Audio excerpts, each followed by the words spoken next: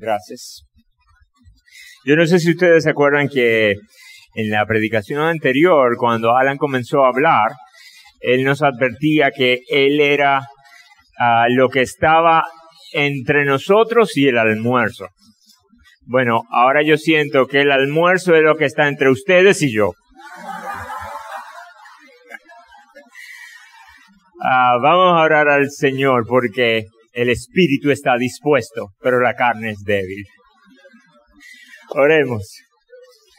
Señor, nosotros te queremos pedir que en este tiempo que vamos a estar hablando tu palabra, tú nos guíes, tú nos dirijas, uh, uses tu Santo Espíritu para iluminarnos, para encendernos, para llenarnos de, de paz, de gozo, de santidad, Señor. Te pido, Padre, que tú uses tu palabra y tu espíritu la use de tal forma como la necesita cada uno de los oyentes, para que tu nombre sea glorificado. Te los rogamos, Señor, en el nombre bendito de Jesús. Amén. Ah, yo no sé si ustedes han tenido la experiencia, seguro que sí, han visto algún video de YouTube o de TikTok en el que le aparecen cómo hacer algo. Le llaman hacks o le aparecen recetas. Y usted ve eso y dice, wow. Y usted puede pasar horas, minutos, viendo esos trucos, viendo esos platos, y usted decía, ay, cualquiera hace eso. Pero obviamente es más fácil seguir viendo cómo preparar los platos a preparar los platos. A nosotros nos pasó en una ocasión que yo quería hacer una, una tarde especial con mi hija y queríamos cocinar algo, entonces eh, queríamos hacer algo nuevo y yo dije yo quiero hacer pasta, espagueti desde cero, o sea en vez de coger el espagueti que estaba en la, en la, en la funda y echarlo a hervir, no, vamos a, a producirlo nosotros. Así que se nos ocurrió buscar un video de Tasty. Y verlo en Tasty de verdad fue precioso.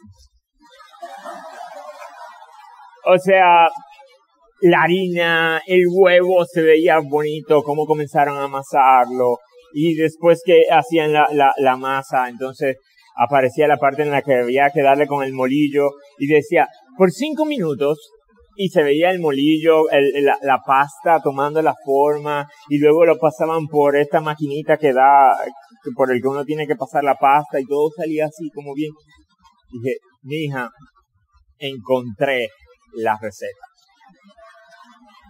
Y empezamos mi hija y yo con la harina y primero la harina no caía así, sino que era y ya estábamos sucios de harina y no habíamos comenzado a hacer nada. Entonces comenzamos a amasar, a amasar, y, la harina se pega, y no era así. Le hará falta más harina y se le echábamos la harina.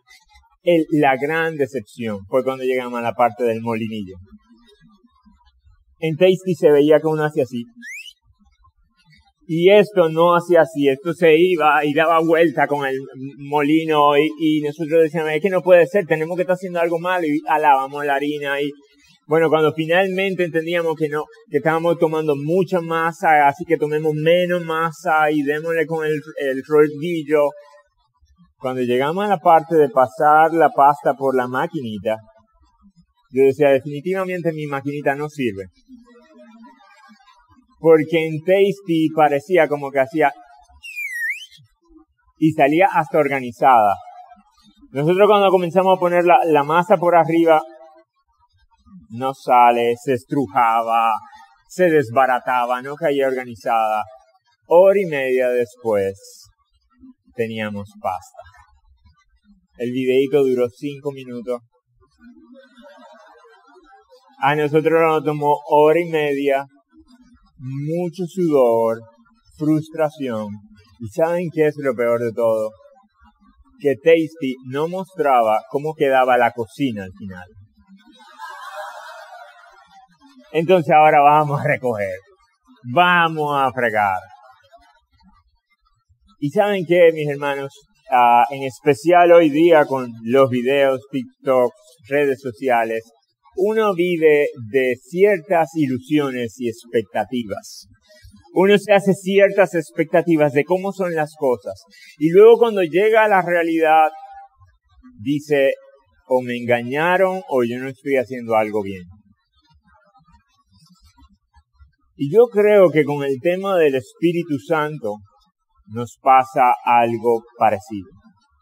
Hay veces que nosotros tenemos ciertas expectativas de cómo debería funcionar la vida del Espíritu Santo en nuestras vidas, que cuando comenzamos a vivirlas, yo digo, o me engañaron o yo no estoy haciendo algo bien.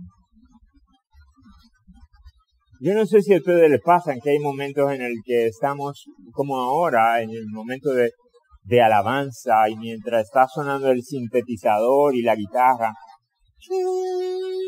uno siente como que el espíritu y uno comienza como a llenarse y uno siente como como un gozo y una paz y uno ve a la gente adorando como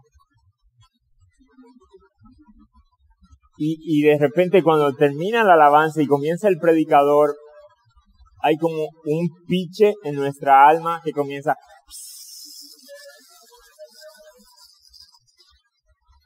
Y puede ser que el predicador predique la palabra y sea usado con poder y usted vuelva y se sienta lleno del Espíritu, pero cuando terminen y dicen amén y usted sale allá afuera, se siente como una vejiga que la soplan, la soplan, la soplan y cuando sale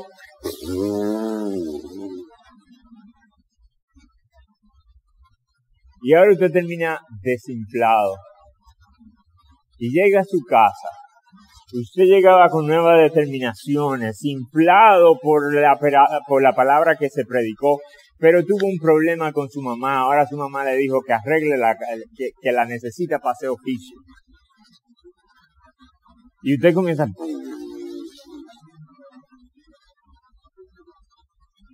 Y usted comienza a decir, ven acá, y entonces lo que yo sentía anteriormente, ¿fue real?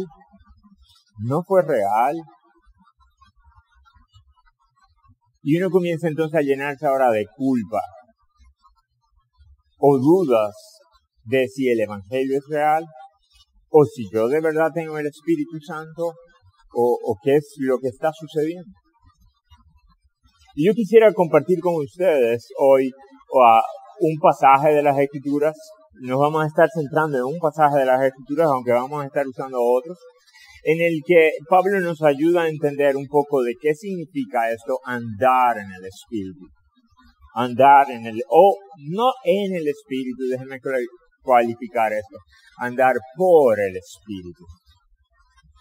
Así que por favor acompáñenme a Gálatas capítulo 5. Gálatas capítulo 5.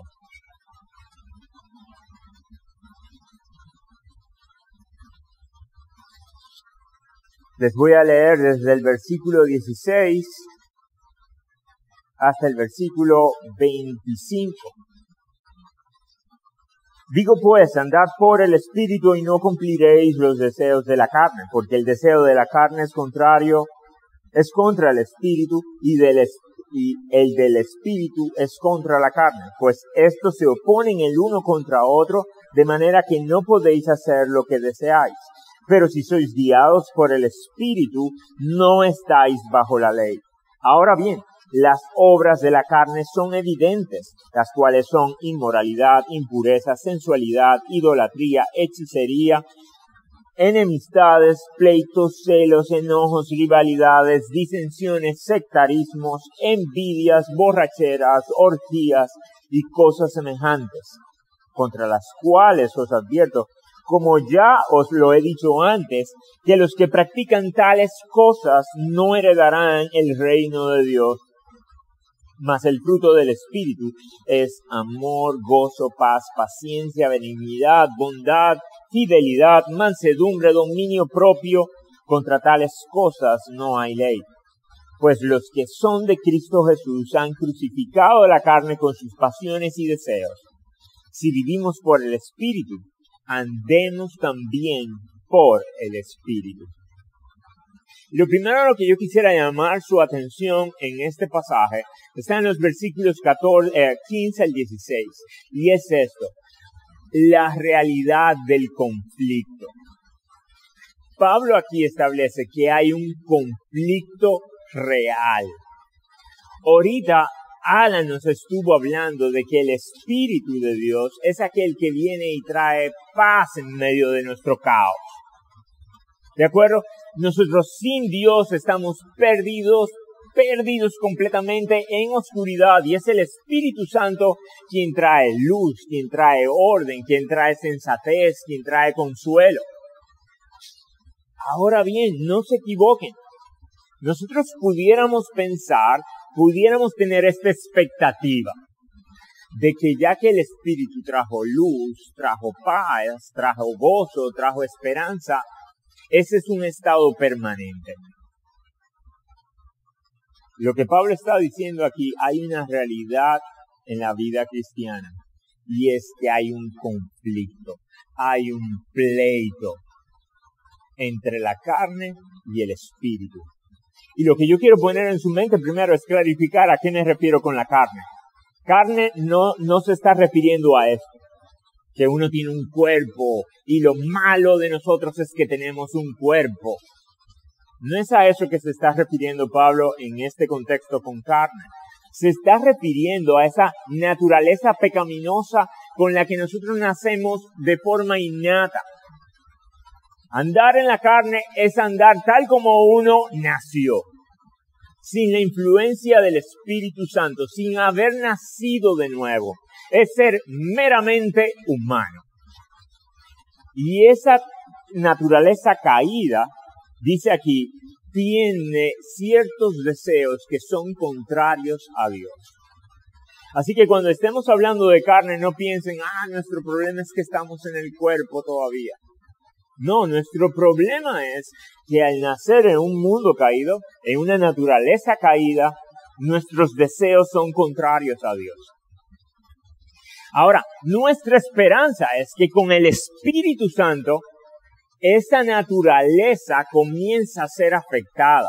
Ahora nosotros no, tenemos una naturaleza caída, sino una naturaleza redimida. Con la esperanza, como hablaba Noah, de llegar a ser una naturaleza glorificada. Pero entre que llegamos a la glorificación y ya no tendremos ninguna, ningún rastro de naturaleza humana caída, va a haber esta tensión. Y deben de esperarla. Deben de esperarla. Hay veces que nosotros tenemos ciertos desencantos porque no estamos esperando ciertas cosas. Cuando ustedes se casan o empiezan una relación con alguien que, que pensaban que iba a ser, cuando llegaran con ella iba a ser su sueño, su vida iba a ser completada, iba a ser todo maravilloso, y comienzan a venir pleitos, dificultades, entonces uno comienza a pensar, entonces quizá no sea ella. ¿Y qué era lo que tú esperabas? Que cuando dos pecadores llegaran muy cerca no iba a haber pecado. Tú debes de esperar que haya conflicto. Pero ¿saben qué? Lo que está diciendo Pablo aquí es, tú debes de esperar como creyente, debes de esperar que haya este conflicto entre nuestro espíritu y la carne. Por un lado, es como si, eh, como si estuviéramos eh, eh, contemplando una, un, un round, una pelea de boxeo. En aquella esquina, el Espíritu Santo. Y en esta esquina, la carne. Y ellos salen y dicen, vamos a darnos.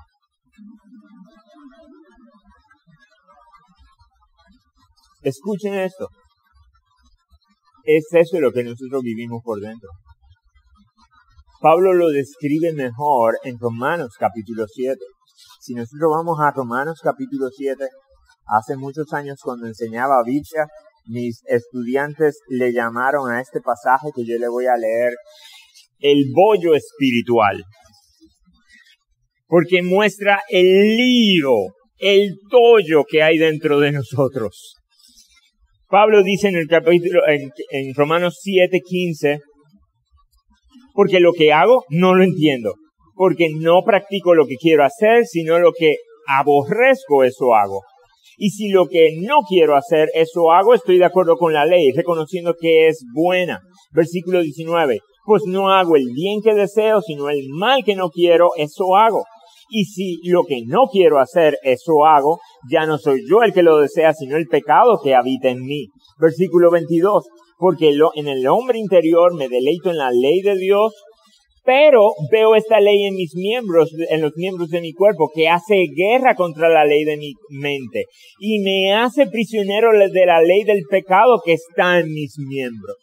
Fíjense por qué le llamaban el bollo espiritual. Es porque yo no entiendo hay cosas que yo deseo hacer y no la hago. Y hay cosas que detesto hacer y esas son las que hago.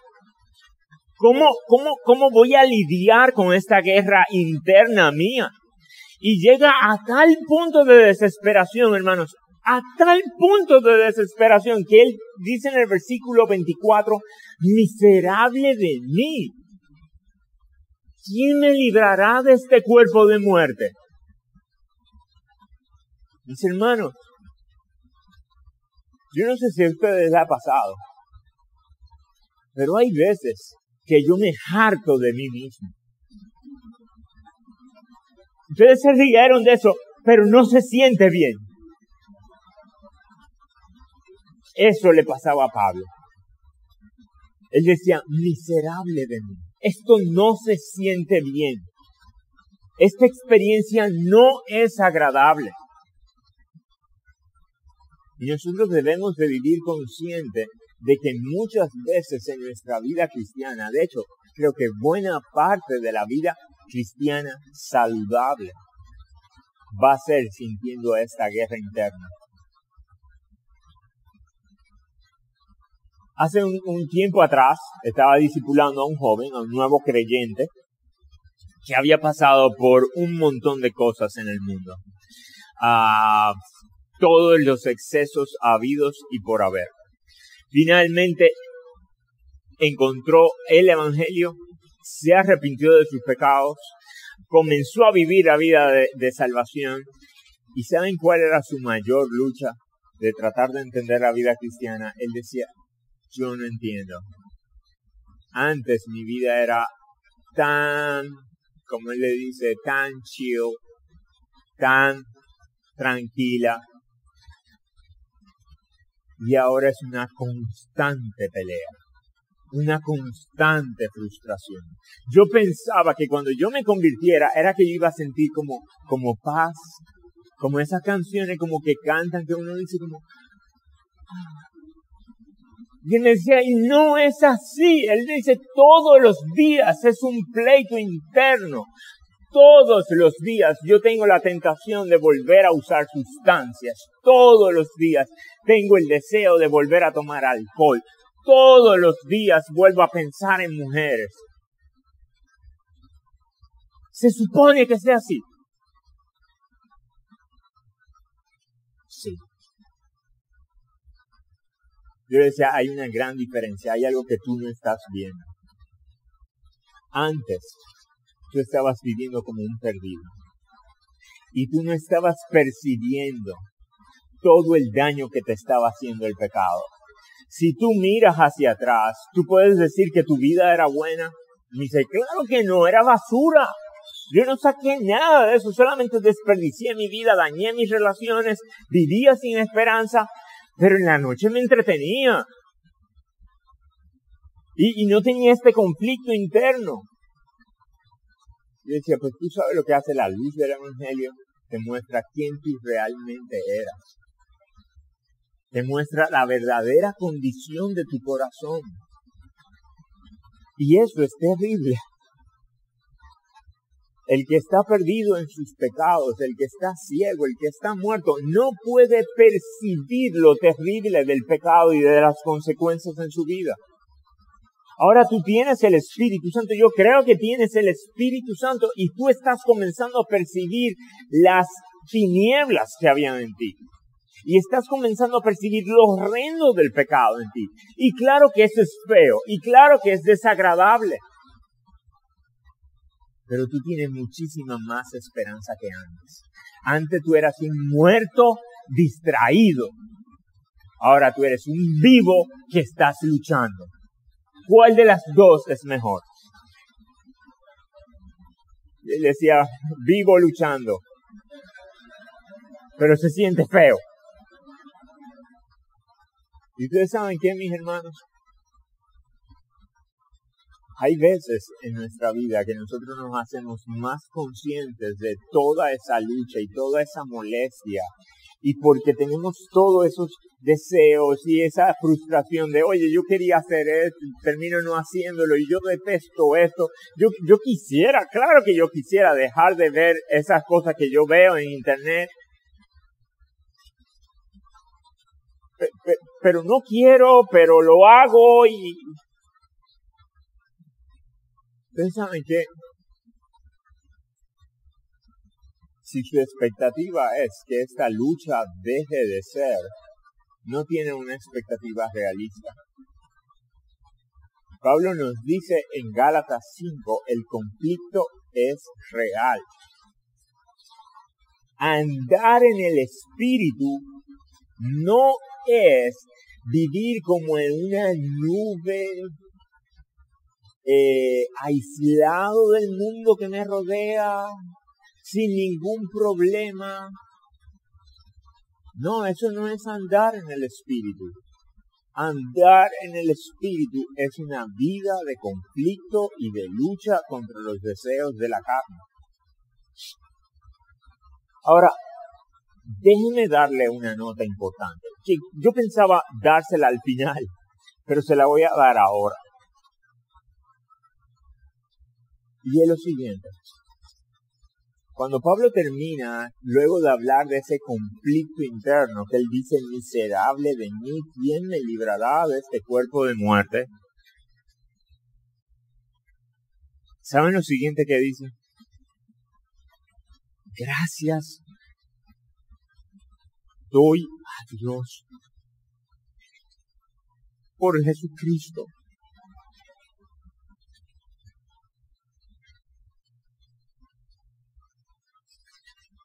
¿Sabe lo que está diciendo Pablo ahí?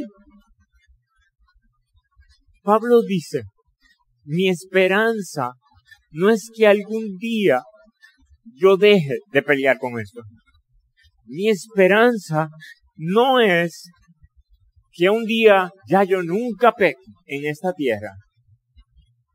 Mi esperanza y mi estabilidad no son mis emociones ni mis conflictos internos mi esperanza y mi estabilidad es en Cristo. Y aunque por mí, y aunque dentro de mí a veces se sienta una guerra nuclear, yo puedo decir que mi salvación no depende de mi estabilidad emocional, ni del cese del conflicto entre el espíritu y la carne. Mi esperanza está en que yo estando en Jesucristo, dice el versículo 1 del capítulo 8, no hay condenación para los que están en Cristo Jesús. Y ese es mi reposo. No es que también yo ando, no es ya, ya, ya yo no tengo tal pecado, ya yo no hago tal cosa, eso es bueno, eso es deseable, pero no es mi esperanza. no es mi estabilidad. Mi esperanza, mi estabilidad es que si yo estoy en Cristo, no hay condenación. Algo que quiero enfatizar de, este conflicto es que tengan presente esto. En el pasaje Pablo habla de que hay un conflicto de deseos es un conflicto de deseos, es más interno, es más sutil que un conflicto de conductas, de ah, los impíos hacen esto, los cristianos hacen aquello. Es que lo que deseamos es diferente. Mientras la carne desea las cosas que son contrarias a Dios, el espíritu, ¿saben lo que desean? A Dios. No es ni siquiera las cosas de Dios, como el venir a la iglesia, la alabanza. La... ¿Sabe lo que desea el espíritu por lo que nos estaba hablando Alan? Lo que desea mostrarnos es a Cristo y su hermosura. No son las actividades que, que rondan alrededor de Cristo, es a Cristo mismo lo que desea el Espíritu. Ahora, en ese conflicto de deseos internos, nosotros debemos estar observando hacia dónde está yendo mi corazón. ¿Por qué está peleando mi corazón? ¿De qué se trata el conflicto de mi corazón? Porque tú sabes que hay veces que aún tú te pudieras estar sintiendo mal de lo que estás haciendo y no necesariamente porque estás deseando a Cristo. Hay veces que uno se siente mal porque dice, oye, yo, yo, yo quisiera como, como tener mejor testimonio. Y no es porque tú quieres ser más como Cristo, es porque tener mejor testimonio luce mejor en la comunidad. O, la gente no va a hablar de cierta forma de mí. Yo quisiera involucrarme en tal ministerio porque, porque la gente que está bien están involucrada en estos ministerios. ¿Saben qué? Eso no es un deseo del, del Espíritu Santo. Ese es un deseo de la carne usando las cosas de Cristo. Y Pablo ahora aclara, ese conflicto, esa lucha de deseos se manifiesta de esta forma y ahora hace un contraste entre lo que es la, la obra de, de la carne en nosotros y el fruto del Espíritu. Versículo ve a Gálatas 5, 19.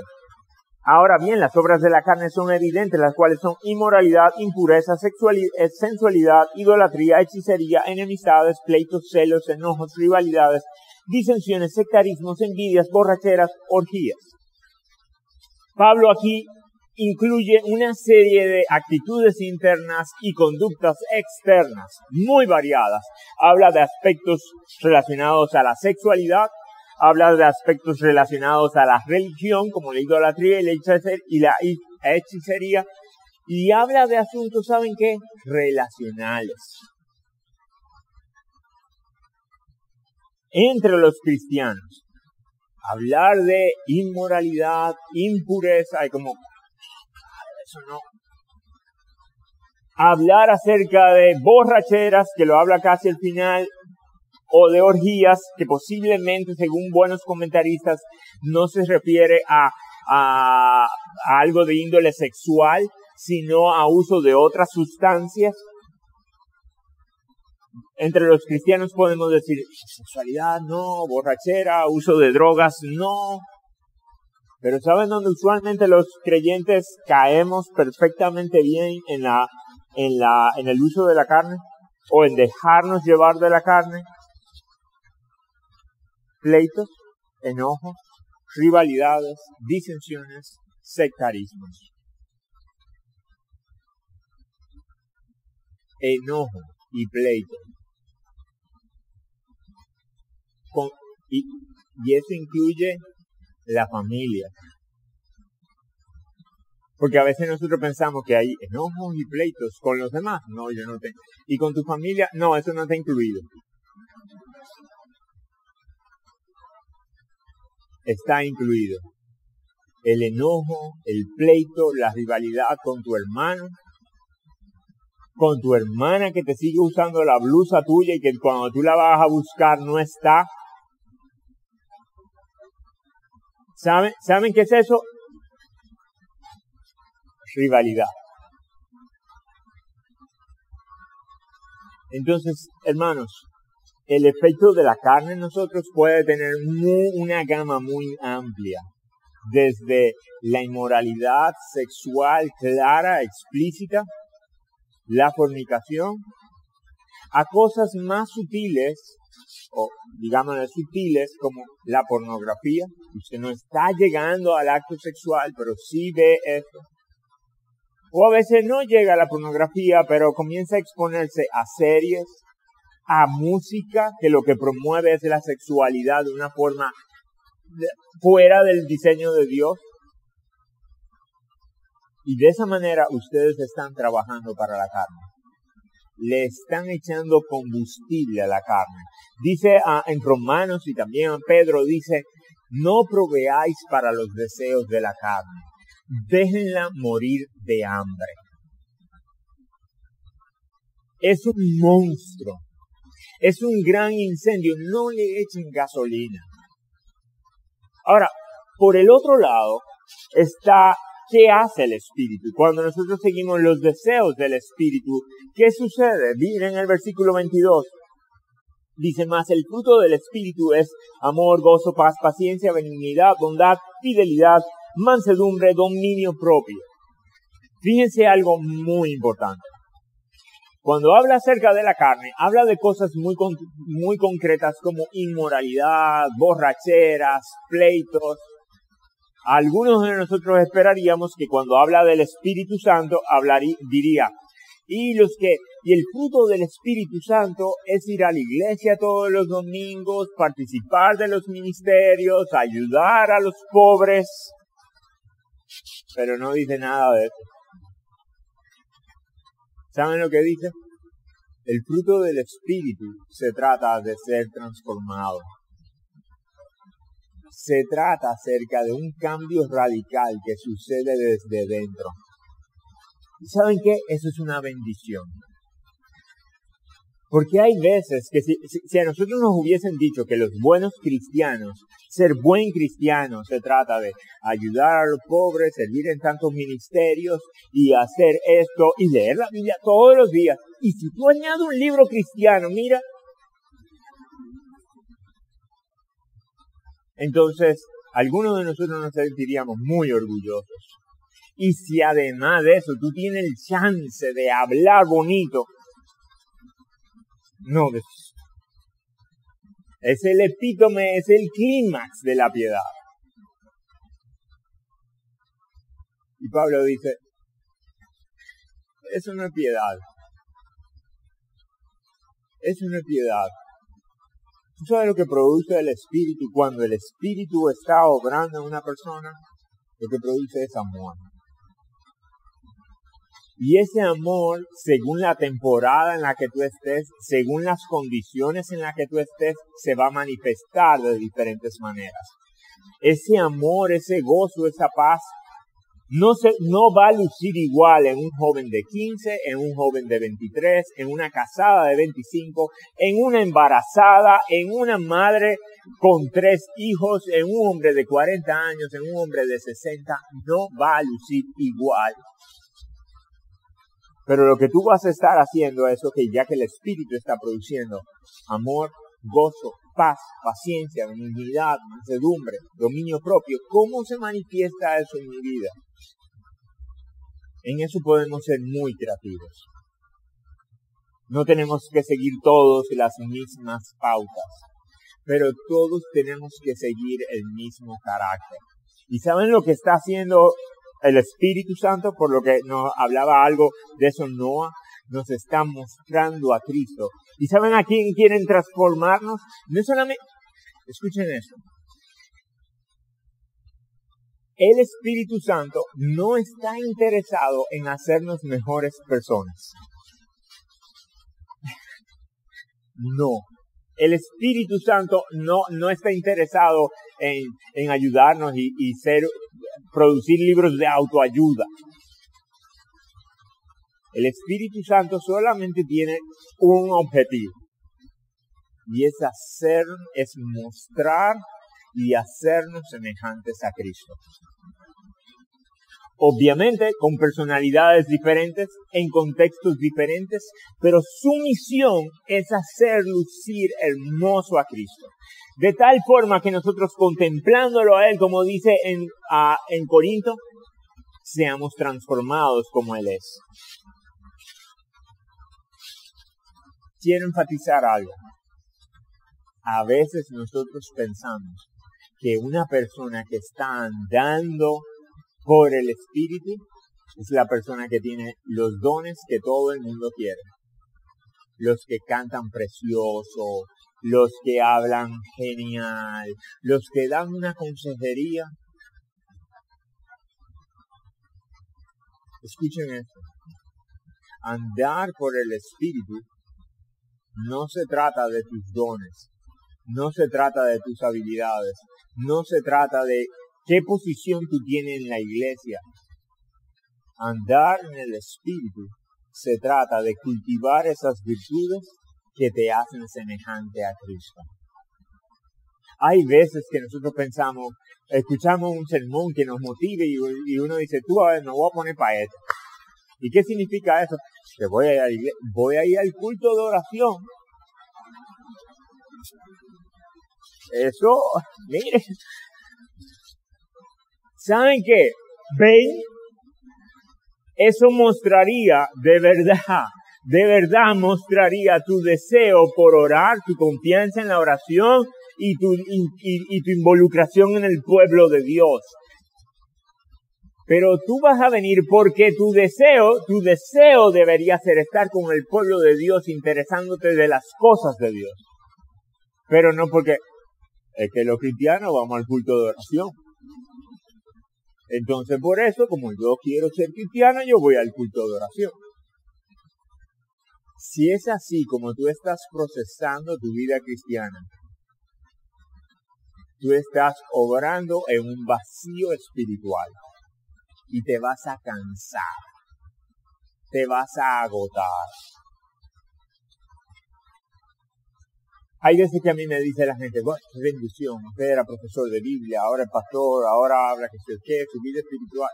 Y yo le decía, tú sabes, tú no tienes idea de lo que tú estás diciendo. ¿Tú sabes cuál es el problema de, la, de mi posición? Es que a veces uno toma mucho tiempo para darse cuenta que estaba mal espiritualmente. ¿Por qué? Porque mi trabajo es hablar la Biblia. Mi trabajo es usar la Biblia. Entonces, cuando uno está hablando la Biblia, está predicando a la Biblia y hay gente que está diciendo, wow, fui ministrado, el Señor lo usó. Uno fácilmente puede acomodarse y decir, ah, yo estoy bien. Y he perdido de vista que de eso no se trata andar en el Espíritu. Andar por el Espíritu es lucir más como Jesús es desear más a Dios y por lo tanto dar frutos y conductas y obras que son de acuerdo a Él.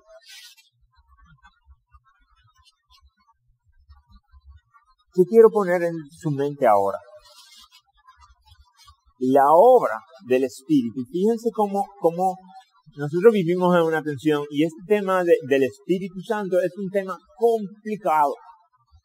Porque uno, le voy a ser sincero, uno no entiende bien cómo funciona. Y no es una receta.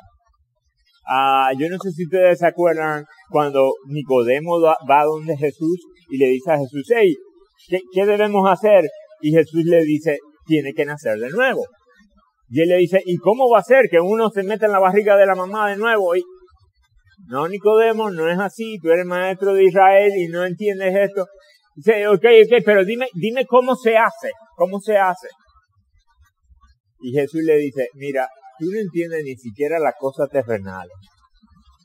Yo no voy a perder mi tiempo explicándote cómo funcionan las cosas allá arriba. ¿Tú sabes lo que tú tienes que hacer? Cree.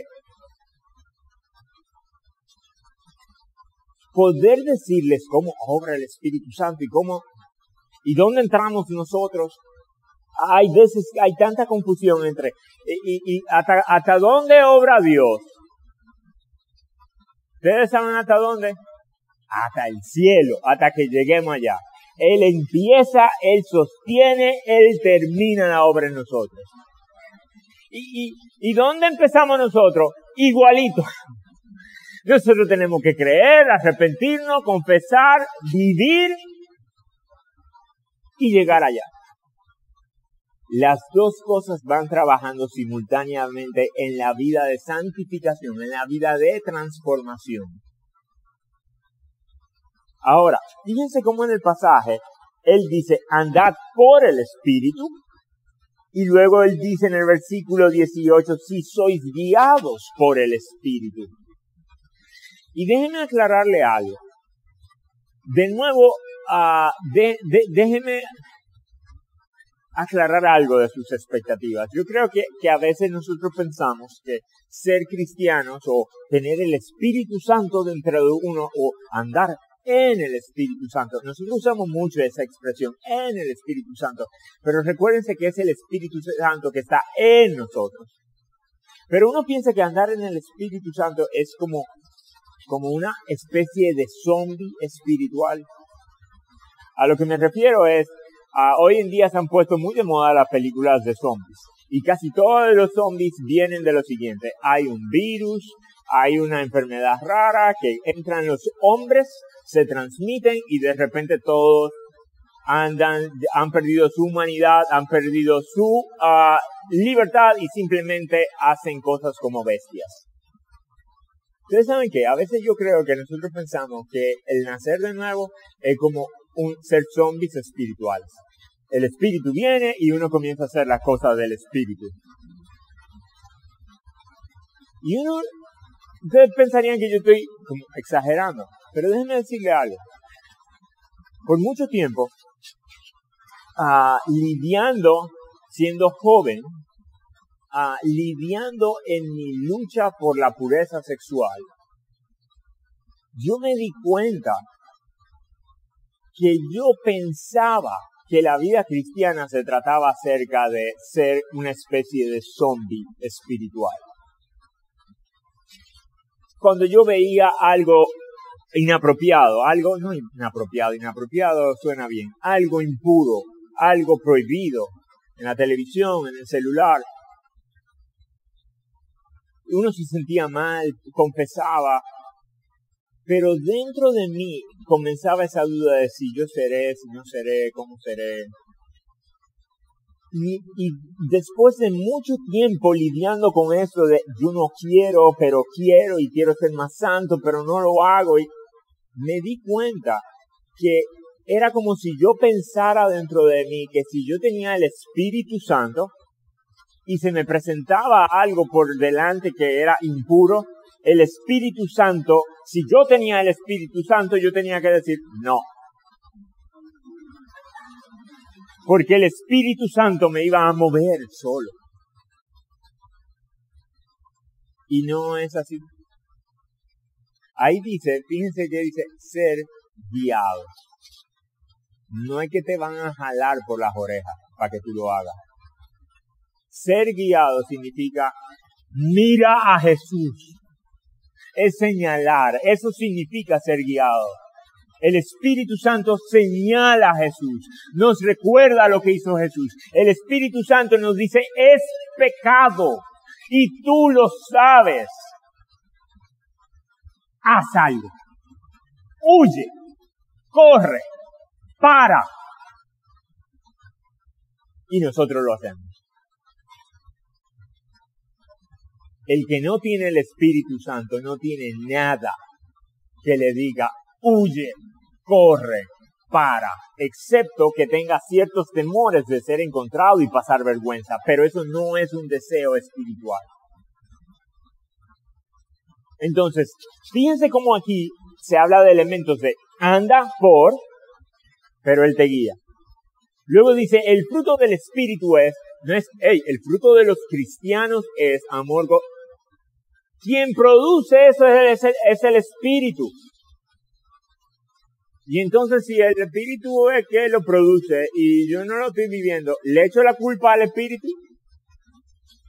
Porque si él es el que lo produce, no, tú no le puedes echar la culpa al espíritu. De nuevo está esta relación de, de uh, mutua en la que ambos participamos. Pero ahora yo quisiera darles un par de consejos prácticos de cómo se anda en el espíritu. Lo que yo quiero ponerle primero en su cabeza es, hay un conflicto y nunca va a dejar de ser. Y de hecho, déjenme decirles algo, hay momentos en la vida de uno que uno dice, ya sobrepasé esto, gracias Dios mío, porque hace tanto, y yo no sé por qué ese día, ese día, uno cae de nuevo. Y puede ser que porque uno baje la guardia y diga, ya yo estoy libre de esto, ya no hay problema. Pero yo no sé si a ustedes le ha pasado que uno dice, óyeme, por tiempo sobrepasé esto. Y luego hay otra temporada en su vida en la que usted vuelve para atrás.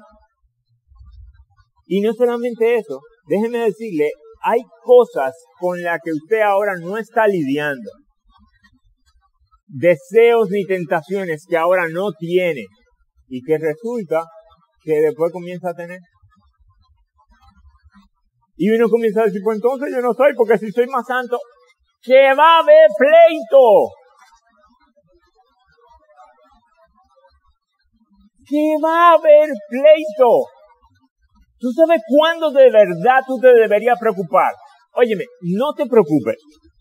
Y tómenme con pinza. No te preocupes cuando en tu vida surja un mal deseo.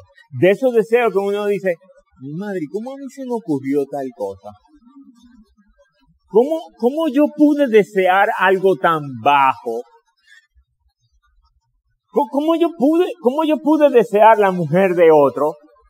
¿Cómo yo pude desear matar a alguien? De verdad matarlo. De verdad el, eliminarlo.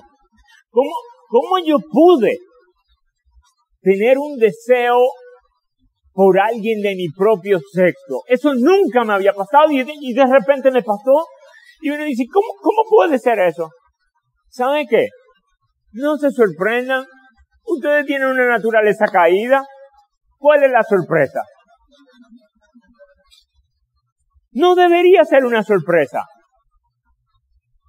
Ahora, hay una diferencia entre no sorprenderse y decir, ah, mira, esto es lo que yo soy. Y la otra es decir, bueno, pues ni modo. Porque ¿saben lo que dice Pablo? ¿Saben lo que dice Pablo? Anden por el Espíritu. Y si ustedes viven por el Espíritu, anden por el Espíritu. Y cuando él estaba hablando más allá atrás en Romanos, lo que él quería decir es, en vez de tener esa actitud de, bueno, imagínate que uno es pecador y uno nunca va a dejar esto, esa no es la actitud de Pablo nunca. La actitud de Pablo es, ¿tú sabes qué? Por estar en la carne no vamos a lograr librarnos, zafarnos de que aparezcan deseos pecaminosos. Pero porque estamos en el Espíritu, podemos ganarles. De hecho, estamos llamados a ganarles.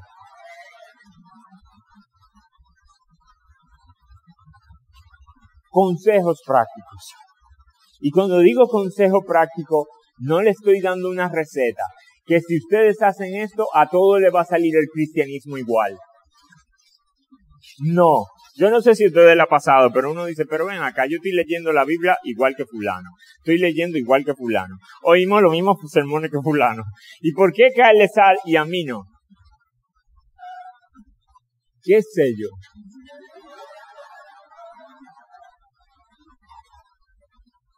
Pero cuando ustedes digan, Señor, pero es que yo he hecho, yo he hecho esto, yo he hecho esto y todavía no me sale, ¿saben lo que tienen que decir? Pero gracias doy a Dios por Cristo Jesús. Porque no se trata de que ya yo logre esto o que haya logrado aquello. Se trata de que Él me salvó y en Él no hay condenación. Así que sigamos para adelante. Un par de consejos.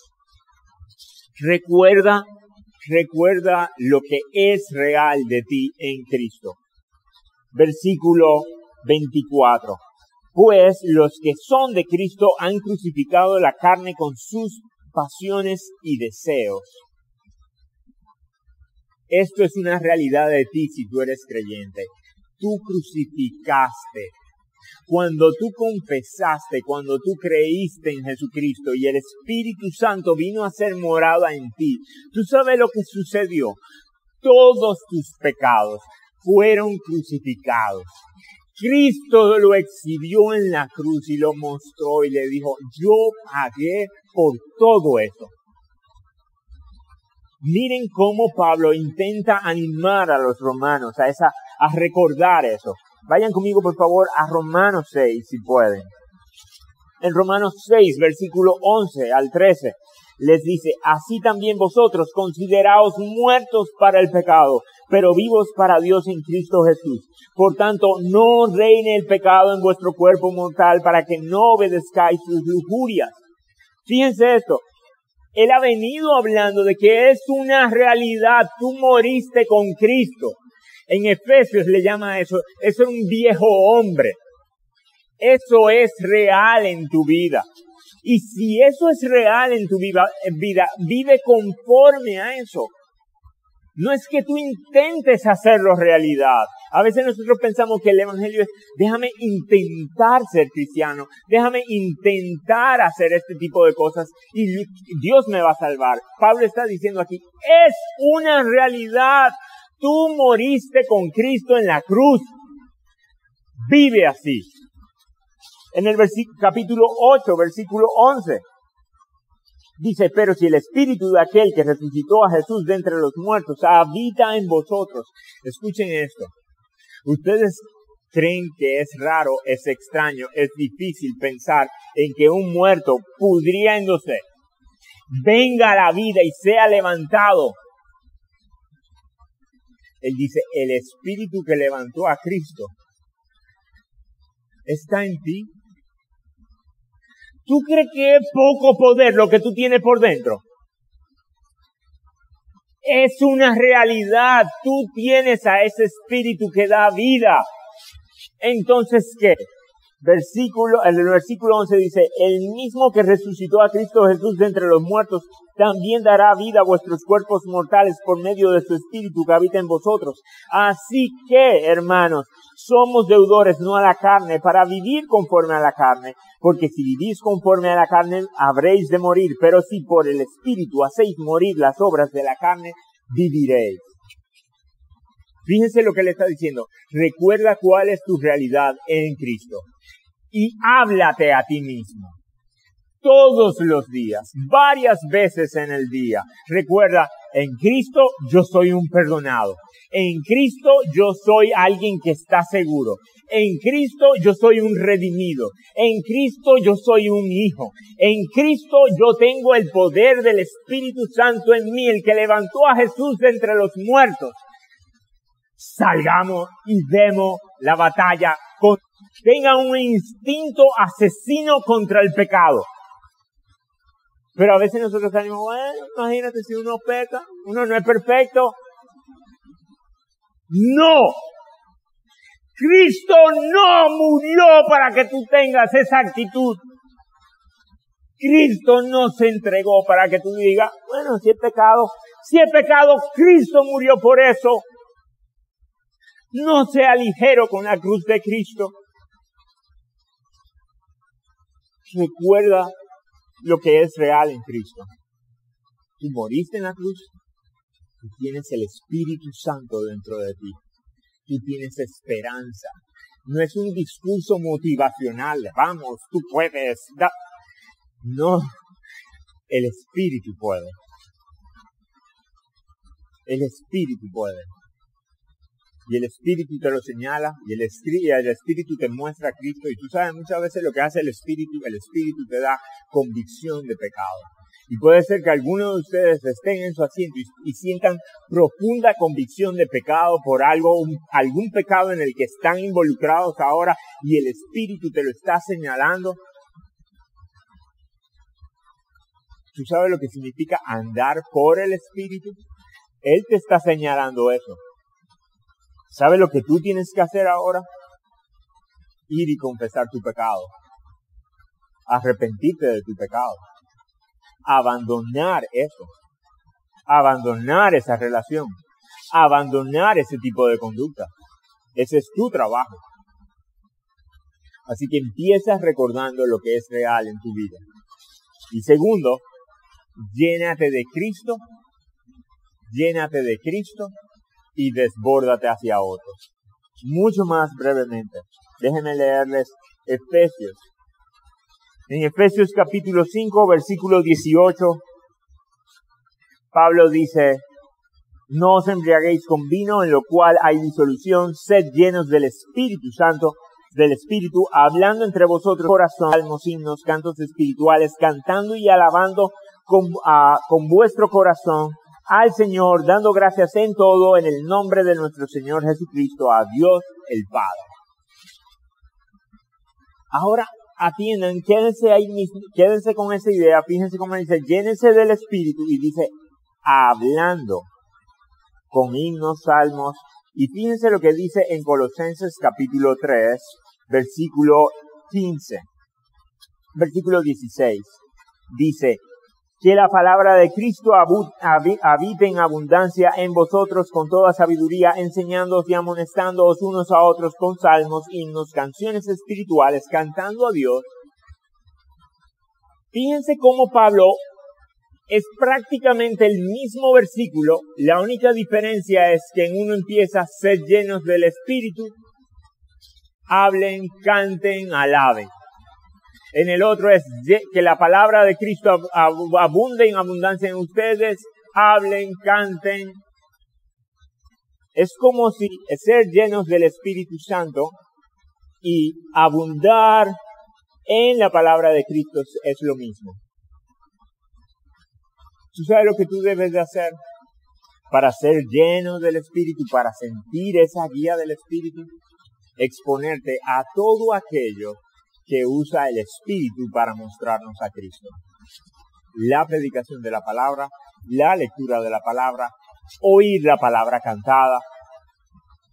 Llénate de eso, sé serio, escuchando la palabra predicada, estudiando la palabra. Ahora, fíjate algo interesante. Hay veces que nosotros pensamos que solamente me lleno de Cristo, es como si yo soy un tanque de Cristo y de sermones. Me he hecho muchos sermones, muchos sermones. Oigo muchas sugeles, oigo muchas sugeles, oigo muchas sugeles. Fíjense que él dice, hablando, cantando, no es solamente oyendo. Esta mañana Noah decía que hay tres elementos que Dios usa para uno ser transformado. Su palabra, el Espíritu, su palabra y su pueblo. Aquí están los tres.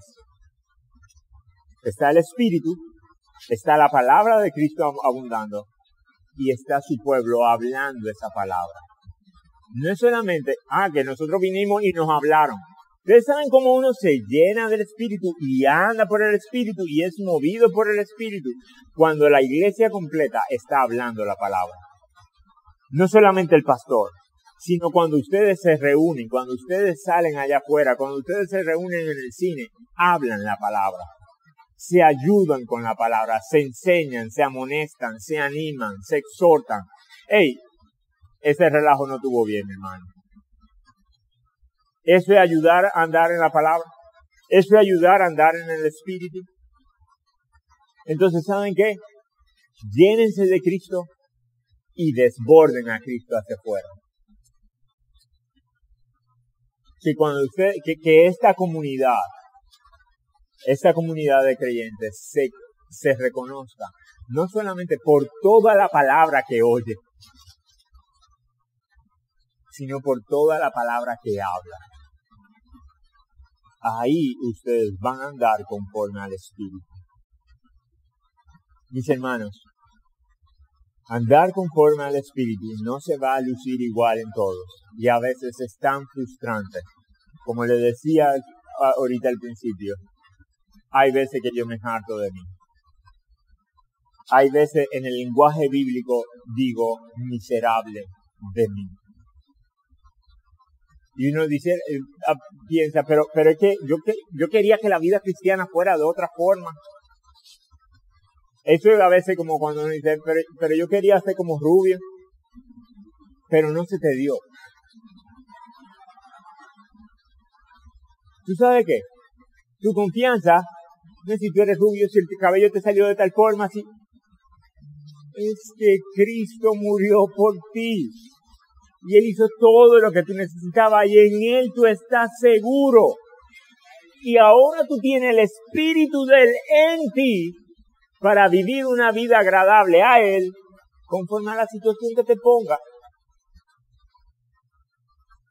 Vamos a orar. Padre,